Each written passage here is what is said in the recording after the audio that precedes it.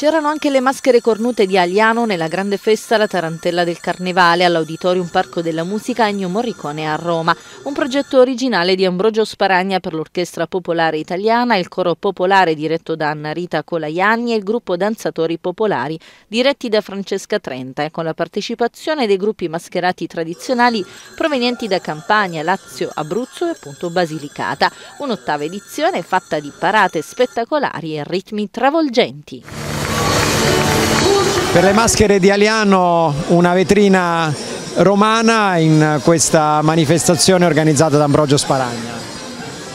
Eh sì, è una bella esperienza, eh, ringraziamo tutti, lo staff, il nostro sindaco e siamo molti, molto contenti di essere qui. È importante eh, questa manifestazione perché comunque coinvolge anche le altre maschere del mezzogiorno, in particolare del centro Italia quest'anno, che noi intendiamo portare ad Aliano insieme ad, Anto ad Ambrogio Sparagna nei prossimi anni. L'anno scorso è stato con noi ad Aliano, quindi abbiamo iniziato un percorso di collaborazione che io mi auguro che duri nel tempo. Ambrogio Sparagna nella sala Sinopoli nell'annunciare l'ingresso delle maschere cornute di Aliano ha citato un brano di Carlo Levi. Sì, ha citato un, uh, la descrizione uh, del carnevale uh, all'interno del Cristo si è fermato a deboli che è sempre attuale ed è stato anche molto carino, ha fatto un'analisi del nostro territorio e soprattutto la bellezza paesaggistica del paesaggio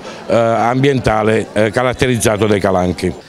Tutte le volte che noi raccontiamo questa Italia contadina, questa Italia che è sperduta nei pensieri ed era anche, ahimè, eh, considerata luogo così distante dal tempo, nel momento in cui noi la portiamo qui in auditorium abbiamo sempre un'attenzione determinante perché è proprio questo essere fuori dal tempo che, che fa diventare oggi questa realtà importantissima.